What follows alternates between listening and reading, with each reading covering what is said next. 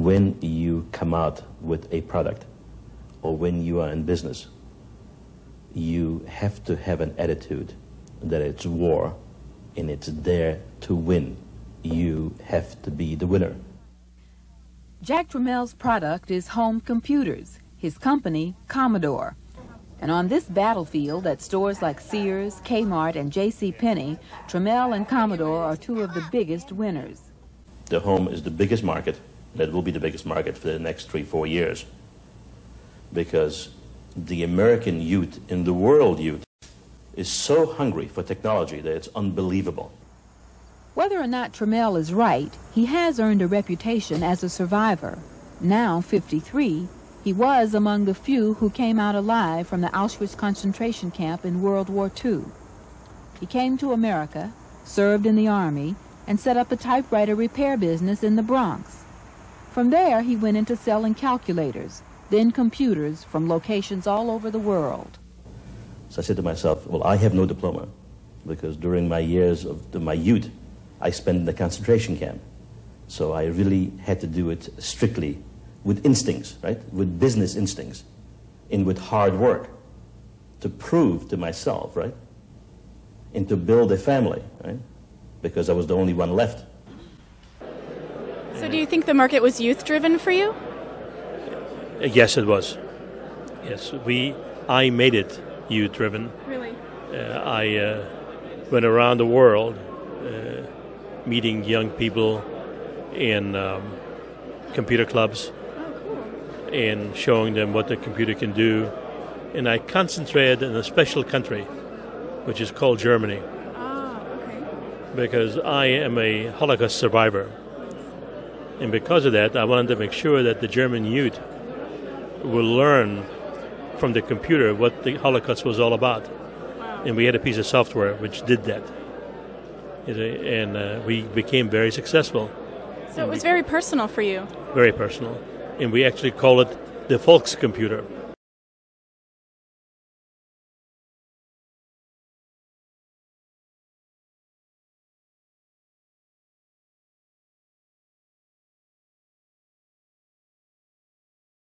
I believe always in paying back. And uh, I uh, lived in the east side of New York City the first three months, and I almost felt like I'm back in Poland with the smell of the herring and the onions and everything else. So I felt that it's more that I have to learn what this country is all about. And by joining the army, serve the country and pay back. And that's the reason why I did it. Where did the Army take you? It took me to Fort Dix. and from Fort Dix, I got orders to go to um, Alaska. And I was already married, and my wife was still in Germany. And I wanted to go back to Germany as a soldier. But uh, the army is, if you want to go to A, they send you to Z. But I uh, had a chance to meet the commanding general. I told him my problem that I had. And he has rewritten the orders, and I was stationed in Manhattan.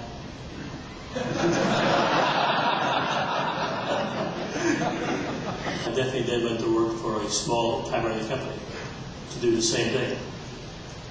So I was working during the day, and at night, uh, because I already had a little boy, the name of Sam, which is sitting here. And uh, I also had to drive a cab during the night to make sufficient money. And um, after a few months, it came a day like uh, Friday when we were supposed to get paid. And uh, my boss didn't have sufficient money to pay his employees. So I was very surprised. And I went over to, to talk to him, and I told him, look, in such bad shape because you done enough business, I might get some business for you. He said, how? I said, well, I was in charge of the repairing of typewriters in the First Army. And then they want to outsource some products to you. Remember, that was in 1952. And he says, you can do that? Yes. So I went to my friends in the army and I got him a contract for a couple of thousand typewriters to repair in the Quebec and he was shocked that he could get this and I did it for him. But after about a month, the man never gave me a raise. so I felt uh, very bad. And I told the guy that I'm quitting the following week. And when you did go into business for yourself, did you start in the United States or did you start in Canada? No, I started on Ford Road in the Bronx, across the street from Fordham University. Yeah, they were my first customers of service and typewriters. We just went from manufacturing to manufacturing editing machines. And all of a sudden, I made a trip to Japan and I found out that the world was changing. There was going to be electronics, calculators, editing machines. In uh, Silicon Valley, which at that time was not called Silicon Valley, it was 1968, this was a few companies which were making chips for those kind of products. And I have decided to move my family from Toronto, Canada, to Silicon Valley because I wanted to be with the technologists. And we were doing quite well. Uh, then making a small handheld calculator chips which were made by Texas Instruments in another company called Everwest Technology. And I was doing so well that uh, TI decided to do a competition with me. And, and they got me up from selling me parts. So I had to find a way, how do I stay in business? So tracing back, my other supplier was a company called MOS Technology. And they were real bad financial shape. And we uh, decided, we came together, we bought the company. At that time, MOS Technology was losing about $120,000 per month. And we bought it for a very reasonable price. The first thing we had to do is come into the company and find a way how to stop the bleeding. It was impossible to stay alive in that kind of losses. So I found out that they had about 200 different projects developing products for companies, but they were only getting paid after they sold them products. They did not get any advance payments for any of the development. But the first thing what they need to do is to cut off the bleeding. I called in all the engineers I had to come into my office every half hour to explain to me what they're doing. Almost the last one which came in was Chuck Peddle. And he showed me a product called the Kim. The Kim was a board, a PC board. If you attach the keyboard to the television, it was actually a computer. And he told me the idea what he has to integrate these three pieces into one box in a TV computer. He says, I would like to continue to do this, but you have to move me to California. And I did not know that much about computers. But my son Leonard, uh, which was going to graduate school in Columbia in astrophysics, he knew something about computers. So I asked him to come to Valley Forge. He looked at the product, how fantastic it is. So I gave Mr. Peddle six months to come up with a prototype. If he does, right, he's, he can stay on, if not, goodbye. And six months later, we went to a Chicago Winter Electronic Fair, and we showed the product. It was an unbelievable success. When we came in from Chicago, the question was, how many of those computers should we build? And we did not have a clue what to build, what the demand was going to be, etc. So the first thing, normally, we were told, well, why don't you go up to Arthur D. Little, Massachusetts, someplace, and they will tell you approximately what this market can stand from being built. Nobody really had the answer. So the idea was to go to Arthur D. Little, which is a research company. And if you pay them a certain amount of money, they will research and tell you what the future is. so I went there, or I called them, and they gave me a price of $5 million to do the job for me. And it will be ready in 12 months. Well, I, I read something about that, that IBM did give five or ten million dollars to research if they should buy Xerox or not. And Dr. Deal told them, no, it's a bad, bad thing to do. So I definitely felt this, this, this is not the right thing. So what I had done, and I came up with an idea to reach the public, and we had some ads in the Wall Street Journal and the New York Times. And after two weeks' time, I think it was, uh, we had an ad that uh, people can send in $599 and they will get the machine between a day and 120 days. How did you pick that price? I just felt that I could afford to pay for that. We went ahead and we advertised at the Wall Street Journal, three full pages. And on these three pages, a couple of weeks later, we got in three million bucks for advanced sales of the patent. We knew that we had a winner. And that's the way the computer business, as far as I'm concerned, personal computer business, really started. Because even Apple, right, developed the computers with the MOS chip. And Amiga, a year later, did the same thing. So we felt that we had a winning product. As I was traveling around the world, eh, I could see that this is an unbelievable product for youth. Youth loves video, they love color. And I made sure that we come out with the best color computer at the lowest possible price. And I was able to bring the price down to $199 a 64, shipping about a half a million computers per month. And that's the way it was at the start. How did you come to the name? Army, again.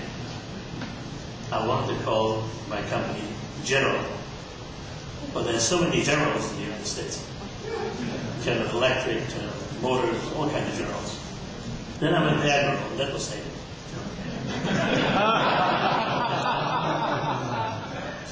I wind up in Berlin, Germany. And uh, we were in a cab. And the cab made a short stop. And in front of it was an Opel Commodore. That's right. Sort of uh, become aware of the, sort of the importance of uh, the electronic calculator market by visiting Japan. And I was wondering if you ever, in the you know the period that you were at Commodore, felt threatened by the Japanese and the way the personal computer industry as a whole did. Did you, ever feel like we were competing against Japan? No, you're only competing, it's too late. Okay, That's the reason why I was aiming to sell a computer for $199. And I know the Japanese, they cannot turn on a dime.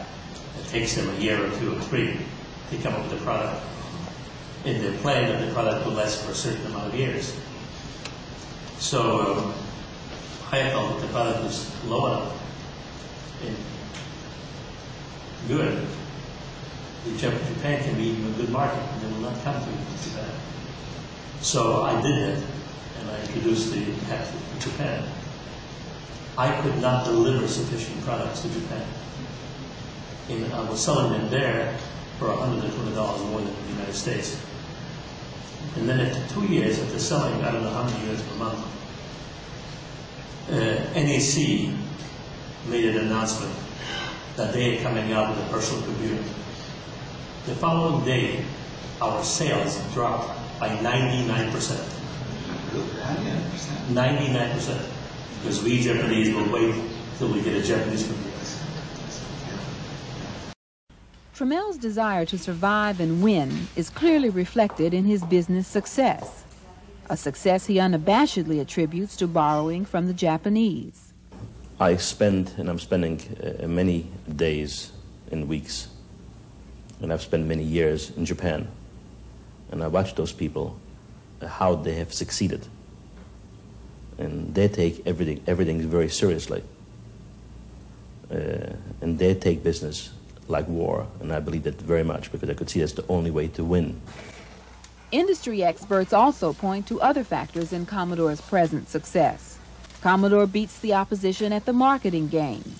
It produced a low-cost home computer capable of doing more than playing games, and it has been able to meet or beat the competition on price. And here is where we make money or lose money. The main reason Commodore can beat the others in price competition is that it designs and makes its own computer chips, the tiny pieces of silicon that are the key to the technology. That means that the company controls a vital cost and does not have to depend on outside suppliers. For Commodore, that means in the last six years, Tramiel has moved the headquarters three times. He is now based in Hong Kong. That location reflects the company's emphasis on foreign sales and manufacture and Tramiel's appreciation of Hong Kong style capitalism. I believe very much in capitalism. And that's the only city where it's true capitalism. It's eat or be eaten. There's very little government regulations. There's no welfare. You work or you starve. And that's the reason why people work very hard in Hong Kong. Tramiel also has a reputation as a hard-driving, fiercely independent, hands-on businessman who has gone through three advertising agencies and even more executives in three years. Jack's genius is such that he that he's not, an e not the easiest man in the world to work with or work for. Uh, many, many people uh, are like Olympic runners. Uh, if they succeeded, you know, winning the 100 yards, they get the medal, they, they feel that they made it. Uh, I believe that you have to run every day. If you're a professional, you have to practice every single day. If not, you lose the taste. Because the biggest battle in the home computer industry still lies ahead against the Peanut, the long awaited home computer from IBM. Are you going to be any match with your home computer for the Peanut? Well, first of all, we are very proud uh, that uh, IBM has decided, uh, after we having more than 2 million computers out there, that there is a home market. Uh, they definitely did not lead, they followed. Do you have a strategy for taking them on, or do you just plan to I'm not taking them on, they're taking me on. This question may stump many people who wonder if home computers will go the way of last year's fad, video games. But to Tramiel, the future market is infinite. So to me, I am investing for the future. And uh, we as a company are really trying to serve the world youth, which are going to be the decision makers of the future. Are you prepared to tell us why you left Commodore? Yes, you know, I, uh, I'm the founder of Commodore. I founded the company about 26 years ago. In the uh, quarter ending December 31, 83, uh, when the company has reached about a billion dollars in sales, uh, and that particular quarter uh, was the uh, biggest quarter for the company. We did about $431 million. Yeah the chairman of the company and myself have disagreed on the basic principles how to run the company. And I felt if I cannot go into my office smiling and being happy, I better quit. I took Helen, my wife, on a trip around the world. And I was interrupted in Sri Lanka, in Colombo, by a fellow by the name of Steve Ross which was the chairman of uh, Time Warner the time, the owners of Atari. And he asked me, please, you're the only person that can help me to get out of this mess. MOS was losing $100,000 or $200,000. he was losing a million or two million dollars a day. And uh, I cut my trip short, came back a month later, and uh, I made a deal with Steve, uh, taking over Atari. At that time, Atari was funding the Amiga chip. So all of a sudden, I was in control of the Amiga chip, not Commodore. When are your plans to introduce the machine into the mass market? Uh, beginning of 1986. To date, Jack Tramiel has been successful in nearly everything he's produced. So how does he know what users want in the microcomputer market? Now, that's a very easy question to answer, but I would not want to answer it because Pepsi-Cola does not tell Coca-Cola what they, how they uh, manufacture sodas. But uh, I can tell you it's in a very simple form. We live in a high technology information age. The majority of companies in Silicon Valley and around the world are spending hundreds of millions of dollars for developing new microprocessors, the most advanced microprocessors. I believe very much to be my own competitor. I, I hate competition, but I don't mind being my own competitor. The idea is always to try to offer the latest technology, right, at the best price to the user. And he is my boss.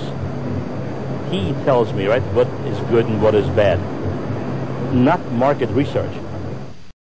Well, my idea is always to try to bring the best technology uh, at the lowest price to the masses. Mm-hmm. We are a company which we like to sell to the masses, not to the classes. okay. We uh, in Atari uh, believe very much that we are manufacturing products for personal use. We call it personal computers. When I started the personal computer business in 1976, we call it a personal computer, and I'm still continuing. Now, it's up to the individual where he wants to carry this computer to. Mm-hmm. He can have it his, in his home, and he can have it in his office, he can have it in the lab, anywhere. But it's up to him. I do not dictate to him where he's going to take it to. As far as the Japanese is concerned, I, I was uh, able to keep those people out uh, of the U.S. market and almost from the world market for the past seven years. And I really do not see them coming in. They didn't even come into the 8-bit line. Uh, I do not know how they're going to be able to come into the 16-bit. Uh, the Japanese are known to be able to be very strong competitors almost in every field, especially in electronics. And the reason why they were able to compete is because the manufacturers, like the automobiles and, and other electronic manufacturers, were making very substantial, very substantial profits. And that gave them an opportunity to come in here, reduce the price, come out with very good quality, and the world market of the American public bought it. What I'm trying to do is to come out with the best product, with the best quality, and also with the best price. We are selling this computer to people which have knowledge. We are selling it to the youth, to the people, to the kids from the age of 6 to 26, which were trained in school, they've learned computing. It is not strange to them. They know more about computers than the clerk which sells it to them. So for their reason, that can be sold almost anywhere. Mm-hmm. So I believe by giving this computer into the hands of the youth, those are the kids which are growing up and going to be in the offices of the future. We believe that compact discs uh, are going to be a very important piece of hardware in the future. Uh, we are not only working with Philips, but we are investigating a number of different companies, uh, Japan Incorporate included. And at the present time, the prices are not very stable as yet for the hardware. Uh, so we're still negotiating with a number of different people and we did not decide which hard disk we're going to use. But we will have one available for the public before this year is over. Is the new Amiga from Commodore? No, I believe it's a very nice machine. Uh, it has uh, some stronger graphics than we have at the present time. I would say about 10% stronger Yeah. and better. Uh, but the machine is more than twice the amount of money. Uh, in the United States, our product sells for $795. There's the same configuration sells for $17.95. So as far as we are still selling products for the masses, it seems other companies only produce products for the classes. Rather like the Japanese have done with their MSX range. Have you taken a march from them? No, I don't believe that the, the Japanese ever made it in the computer business. well, I would expect you to say that. Um, Most people don't know about is you almost died in the jet crash. Um, Did you hear that? I was reading a little bit of that. It's a remarkable story. I mean, I think, I mean, That's true. um, would you tell that story? I mean, it, it was a literal jet crash. Now, haven't we, in Commodore, we had a plane which was called the Pet Jet. and we, Helen and I, and six other members of Commodore, uh, went from New York to California. We made a stop to pick up some dealers in uh, Chicago. And from Chicago to uh, San Jose, the plane started smoking. And all of a sudden, there were no brakes, there was, there was no radio, and smoke started to get very black. And Frontier Airline heard a signal of some kind, and we landed in Des Moines, Iowa. And we get out, after a few minutes, the plane blew up. And you didn't, you landed on after the runway, from what I heard too. The plane went, the plane went off the runway. On, Yes. Yeah. yeah so it's, Yeah, I had nine lives. and which one are you on now? Oh, two. When I say first that the business is war, people, you know, stare at me. But really what it means, you know, you can turn around and, and, and, and you can say business is like serving breakfast. To me, business is like sex. I like to touch it. I like to be with it. I don't like to look at it on the screen. I like to be there where the action is. What is it? The statement that business is like war. Yes. But what I discovered, you also are well known for saying that business is like sex. so which is it? It's both. Let's focus on business as war. Don't you want to speak about sex? Anyway, Okay.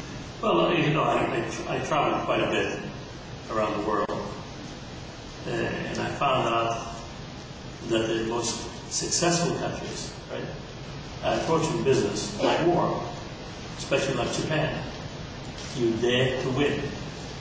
As soon as you, you, you, have your wings down, right, you lose. The important thing in business, many young people which are here, you have to be your biggest competitor. Not somebody else to compete with you, but you have to compete with yourself. If you have a product which is very successful, you have to think immediately, what is the next one? How can I do it better? And this, to a certain extent, was success of Commodore. No, I, I, I definitely believe that if you can afford it, you should always sell a product for no more than 100% of your cost. Because if you sell it for too high, you invite competition.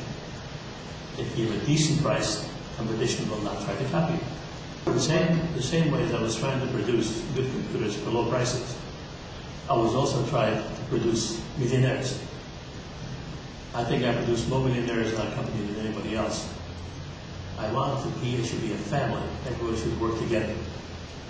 And my personal job was not to tell them how good they are, but to tell them what they're doing wrong, so they can improve.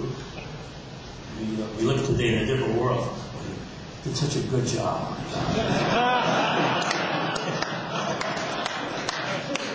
well, this is, this is interesting. I mean, what's your, what's your view of a company like Google, for, for example? It seems to So be... Google is not making a product that's strictly innovation. They need to tell people how good they are. It's a totally different kind of product than.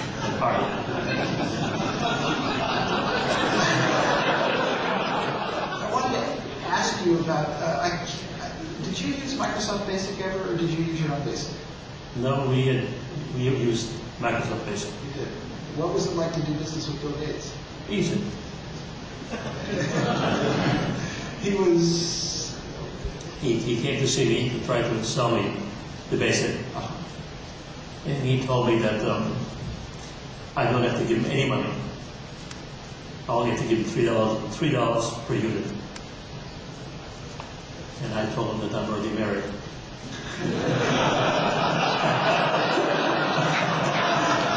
So what did you sell that? I told him that the highest price I'm willing to pay is twenty-five thousand dollars. And about six weeks later, he came, he took the twenty-five thousand dollars. And since then, and since then, he doesn't want to speak to me. Now, I've, I've also seen that you were you were seen as a typewriter guy. uh, That's a, to mean a hardware guy, and that you sort of opposed the idea of bundling, and at a certain point that came back to, to hurt you. Yes. You, is that something you feel I now you would have done different? I recognize it, yes. How would you have played it differently if you could have now? If you could do it over again now? No, that, that's the software, which is as important or more important than the hardware. But which comes first, the chicken or the egg? Yeah. Yeah. Maybe you could have bought a little company like Microsoft. Apple was the sales operator.